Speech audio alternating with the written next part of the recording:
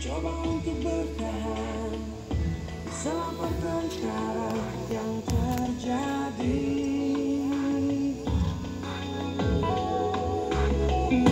Mengapa